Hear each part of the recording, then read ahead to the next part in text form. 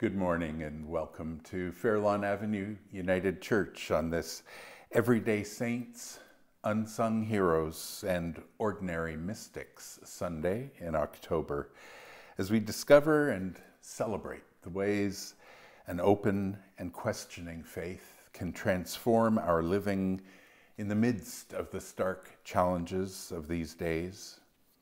This is a time to pause to tune into what God's Spirit is up to in the world, to listen and to give thanks. It's good to gather, and I'm glad that you're here. Of course, our director of music, Eleanor Daley, has provided us with the music bulletin alongside this service with music clips that remind us of why music is so important in our worship at Fairlawn. So scroll down below this video for that link. Your worship will not feel complete until that is a part of it as well. Here are some words of prayer to bring us into worship this day. God of life, we are grateful in these autumn days for life's goodness good things all around us, your love surrounding us, and a community of others with whom to share it. We gather encircled by a cloud of witnesses, a beloved community with whom we join our voices, in commitment and with conviction and in hope, to share the feast of life. For saints who have lifted and inspired us in our lives, we give you thanks. For ordinary saints whose faithfulness lit our path and whose love warms our hearts still, we are grateful. Forgive us when we ignore the witness and wisdom of those who have gone before us. Raise us up and strengthen us and remind us that we are not alone. Amen. Our reader today is Heather McPherson.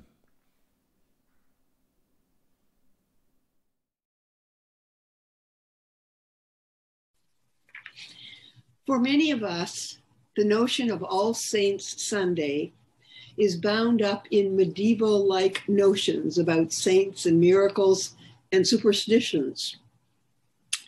The reading from the Gospel of John helps to ground us more solidly in the reality of death, the possibility of a life that is more than what ends at death, and the depth of the relationships that we form with others in love.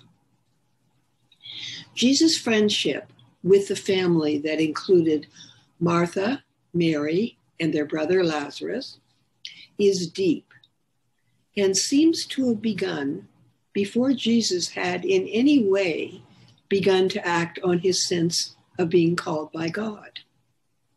These people knew him and loved him as a lifelong friend, and the death of Lazarus hits him hard. Whatever happens in this scene, Lazarus will, of course, die. Jesus' raising of Lazarus does not change that. However, we begin, we begin to glimpse in Jesus that there is something more to life that is beyond death and that is rooted in love and in the relationships that nurture love right here and now. Our reading is John 11, verses 32 through 44.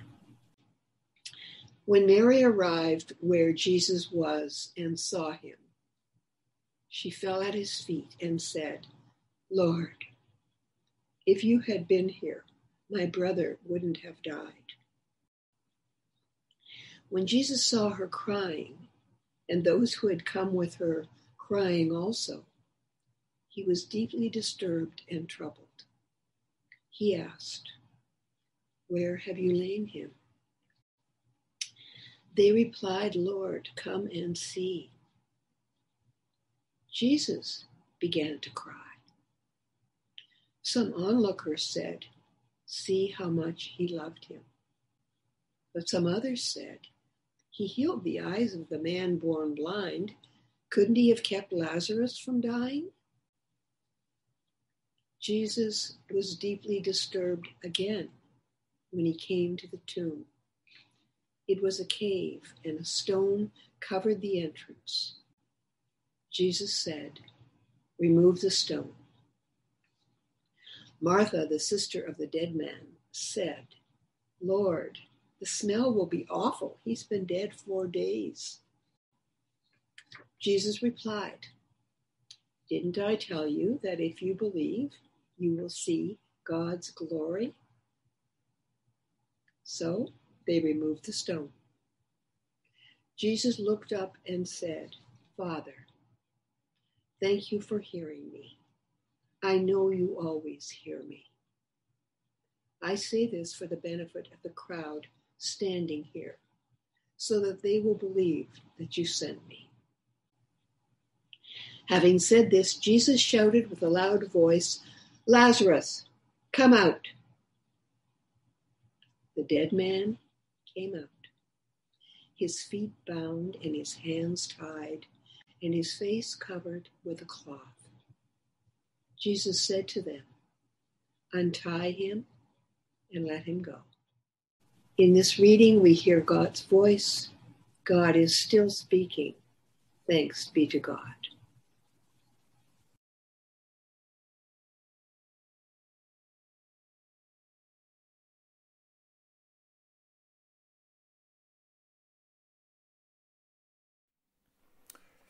Kate Bowler is 41 years old.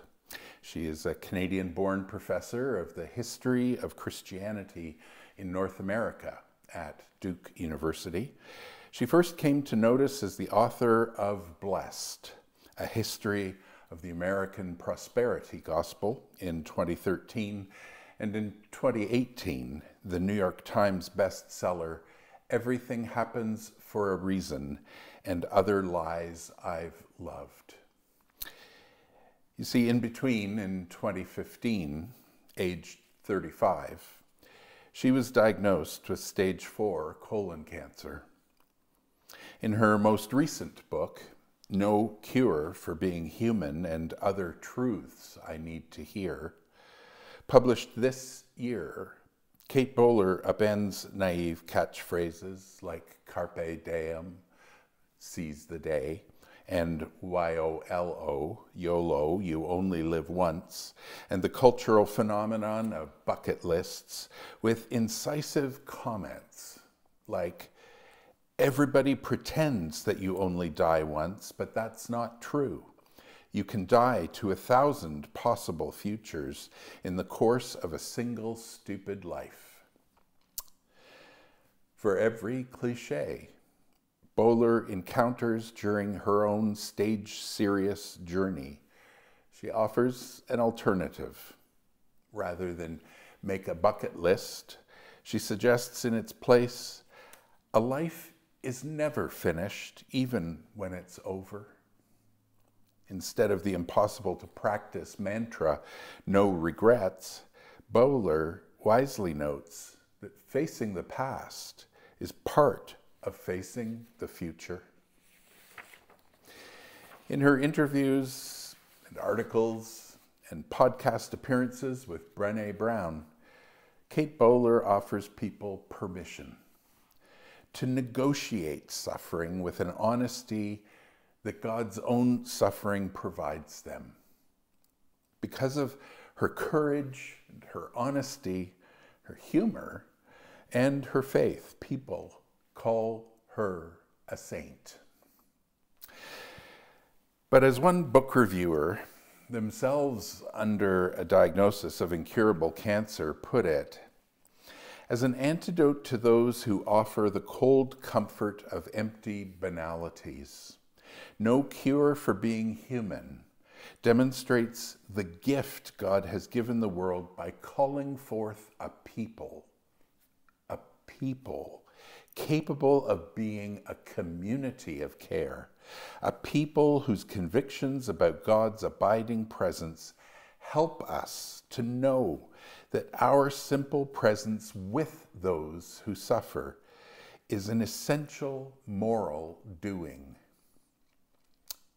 It's about a community of saints, each contributing their piece to the living of life with a compassion and conviction that is capable of transforming the world.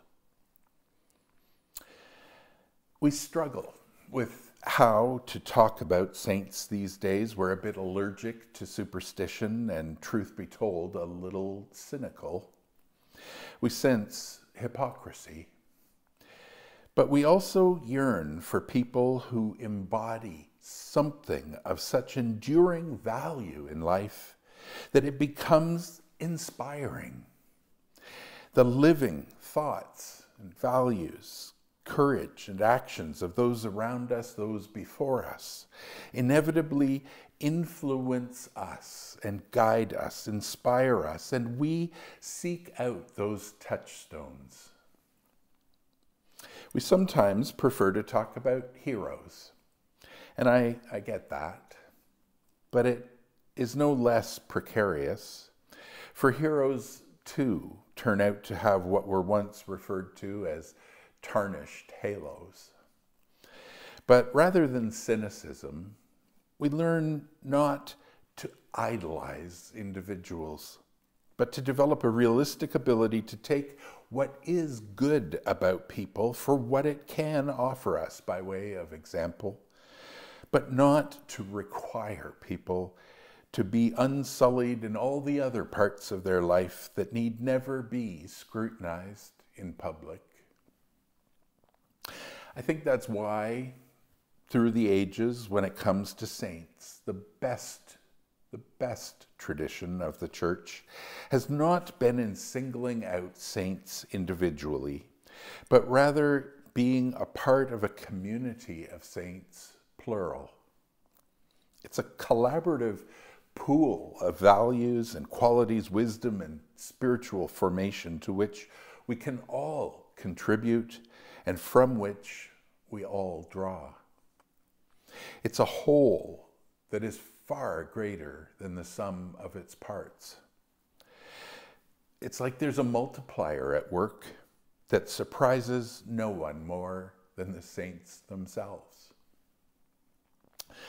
So while the ancient creeds of the church speak of the communion of saints, the Gospel of John and the letters of John provide another, perhaps simpler way of expressing it the beloved community.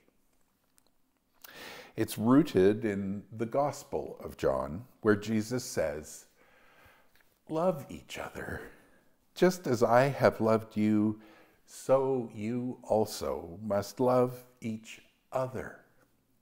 This is how everyone will know that you are my disciples when you love each other.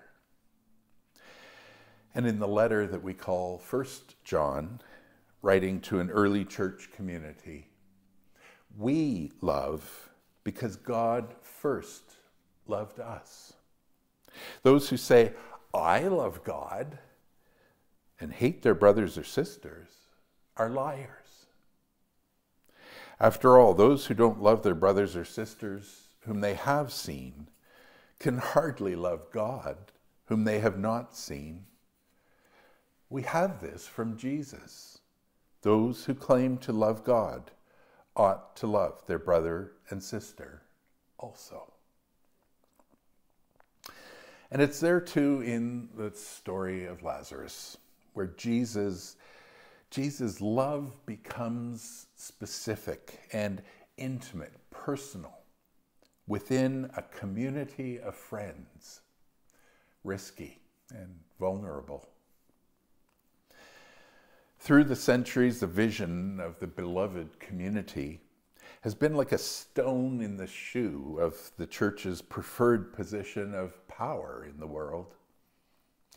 Most recently, for Martin Luther King Jr., the image of the beloved community became a touchstone for his understanding of the kingdom of God, the fulfillment of God's vision of a world of justice and peace and reconciliation among peoples and religions. King's last book, it was written in 1967. Where do we go from here? Chaos or community? Set out his understanding of the beloved community. The key for him is love. He wrote, When I speak of love, I am speaking of that force which all the great religions have seen as the supreme unifying principle of life. Love is the key that unlocks the door which heads which leads to ultimate reality. Our goal is to create a beloved community, and this will require a qualitative change in our souls as well as a quantitative change in our lives. A qualitative change in our souls as well as a quantitative change in our lives. In recent months, the United Church of Canada has been working toward a renewed mission and vision for our faith community in a turbulent world. The question came down to this How might we unite around who we could be as beloved community? Deep, bold, daring, diverse, connected, hope filled, and inspiring. Living the good news that continues to be born in our midst, even in these most perilous of times. The resulting vision statement that was approved just last weekend expresses the hope that living purposefully into this vision anticipates becoming what Dr. Martin Luther King Jr. and others called the beloved community, the ever inbreaking, ever transforming, ever reconciling realm of God realized in our time. The story of the raising of Lazarus is one of the most dramatic and difficult of the stories about Jesus told in the Bible. And I'll confess that I don't understand it. Apart from anything else, I don't understand why Jesus chooses to bring Lazarus back in the first place. Does a man who's been dead for four days even want to come back? I mean, he will only have to go through all that dying business all over again. And then Lazarus disappears from the story as soon as he emerges from the tomb, which is oddly anticlimactic. But the story also gives us one of the clearest glimpses of Jesus' humanity across the centuries in words that we can all understand. Jesus wept, or Jesus began to cry. It really is the heart of the story that for Jesus, and we might say by extension for God, love of his friend who has died means that grief takes him and breaks him open. Jesus, our best glimpse into the heart of God, stands at the grave of his friend and weeps. His tears, in a way, legitimize our grief. Yes, we have a resurrection and Easter hope, but that doesn't cancel out love's essential work of grief. There is empathy in the heart of God. It is okay to yearn for life. It's okay to feel a sense of wrong, of injustice in the face of death. It's okay to mourn the loss of vitality, of intimacy with those we love here and now. And yet, if this is a story of transformation, this Lazarus story about rolling away stones from tombs and unbinding people from the grip of death, then lament and loss and grief cease being passive responses. In fact, they can mobilize our energy for hope, for life.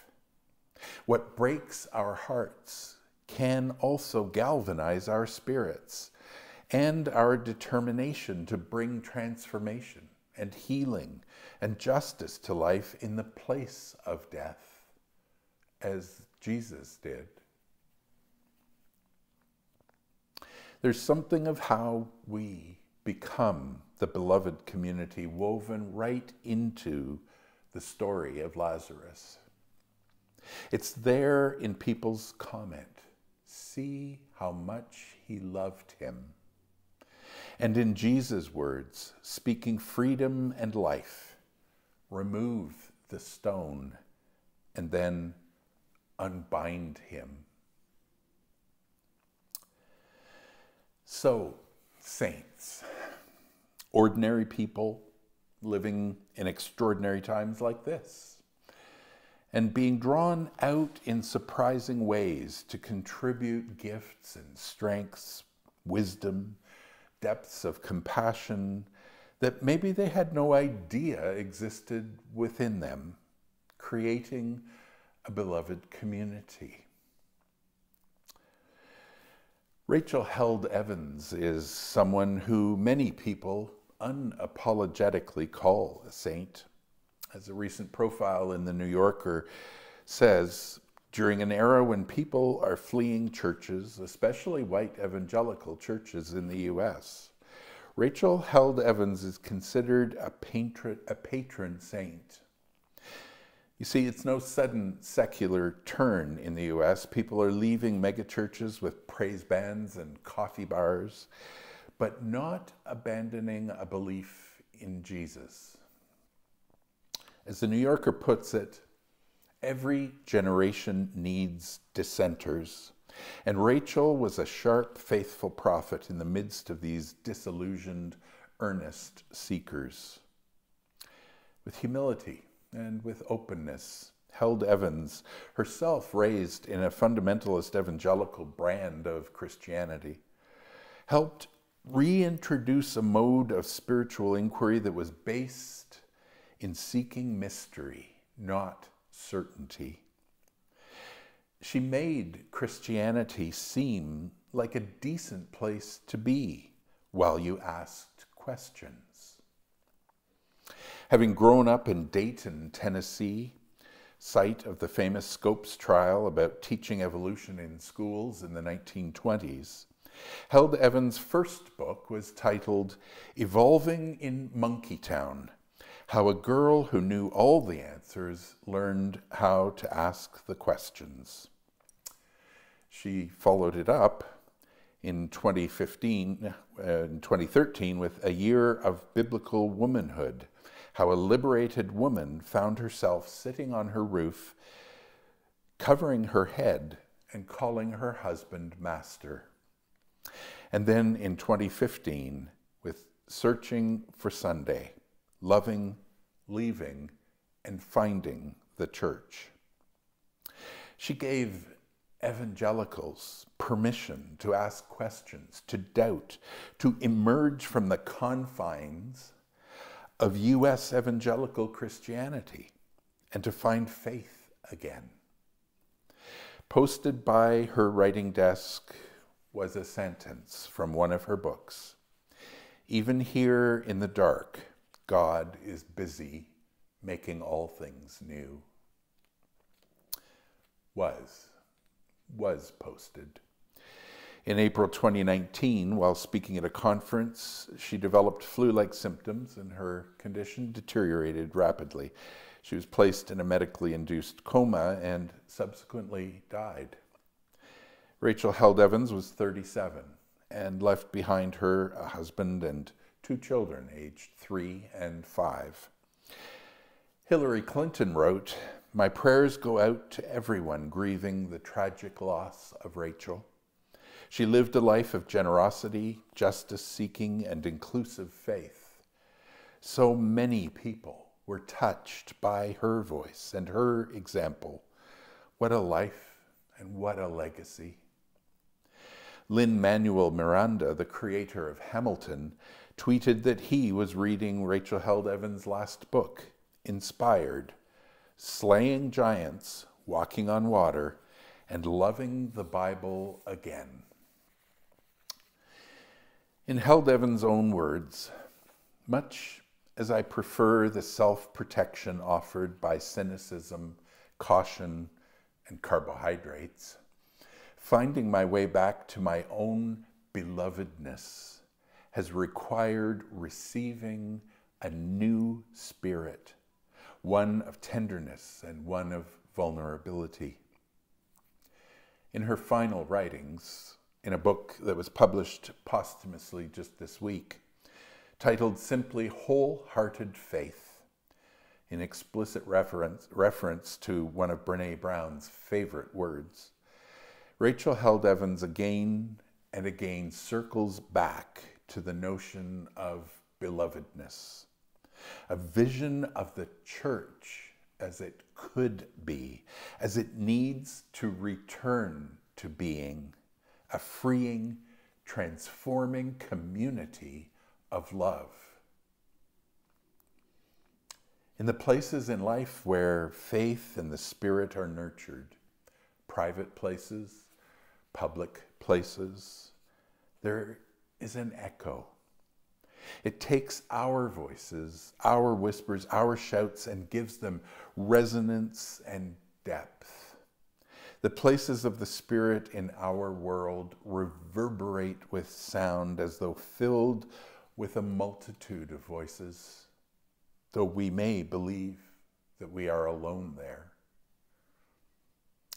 On All Saints' Day, all saints together, we recognize that we are not alone, that we are accompanied in life. This is no solo pilgrimage. May it be so. Amen. Our music today is Pie Jesu from French composer Gabriel Fauré's Requiem. It's sung by Fairlawn soprano section lead Amy Dodington. The Latin words in English are Merciful Jesus, Lord, grant them rest, grant them rest, eternal rest.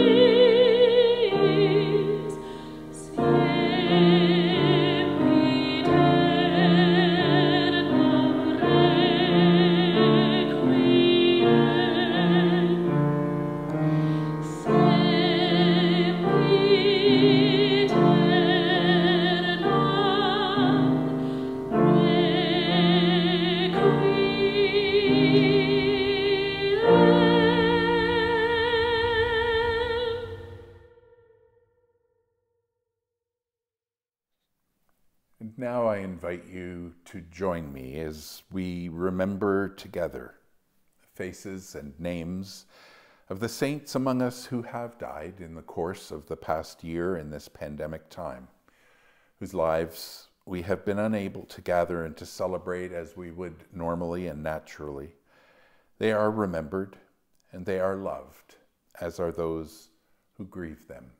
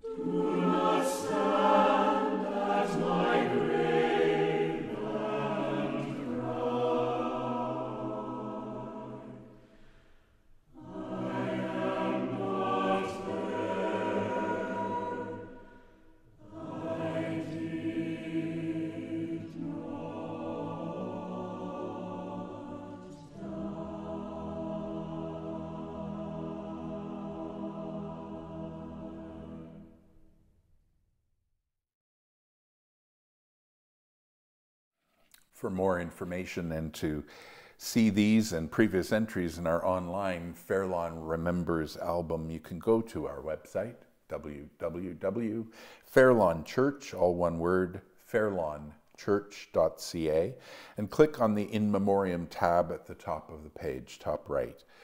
The website's also a good place to keep up on everything that's happening at Fairlawn, online and now in person ministry that continues to be supported by your financial contributions as well, which we need and greatly appreciate as we work to fulfill Fairlawn's mission through interesting times. As you'll be aware, alongside this online worship service, Fairlawn Avenue United Church also offers the option of a modified in person worship service in the sanctuary for those who have pre registered and who observe our public health guidelines. For those of you who have found us virtually and who, for whatever reason, are unlikely to join in an in person gathering at the church, I would be glad for the opportunity to get to know you. We won't pester you with emails or anything, but if you'd send me a note to say hi, tell me a little bit about yourself, I'm, I'm really interested in the human face of our online community.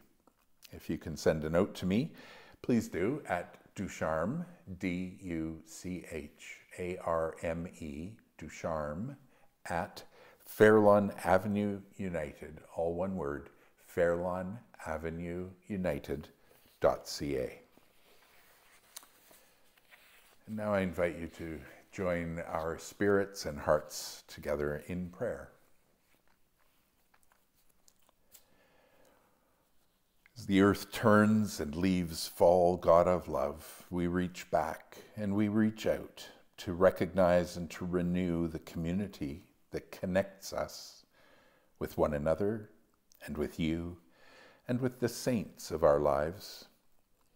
With hearts and hands open, we hold on to love, love that is stronger than death we acknowledge those who once dwelled among us, who knew us well, who taught us, who sometimes hurt us, who loved us. They touch our lives still. Through their presence and their absence, they are a part of us, touchstones of our living now. Without fear, with thanksgiving and with hope for all that awaits, we are grateful for the community of hope and renewal that we form together. This week, the world gathers in Glasgow for the UN Climate Change Conference, COP26. With them and for the world, its wonders and its wounds, we pray. We acknowledge the responsibility we have for life on this fragile planet. We pray that the political leaders at COP26 will have the foresight and the courage to embrace the changes that will be needed to foster a more sustainable society, to implement fairer solutions for the poorest and the most vulnerable, and that all of us will commit to the changes that we need to make for the life of this, our common home. For the aches and the joys of this community of people, we pray. For those who carry pain, who are hurting, who are grieving, for those who are angry or lonely or frightened, including people near us facing struggles and difficulties we may be unaware of. Hear our prayers for those we hold close in our hearts as we keep silence.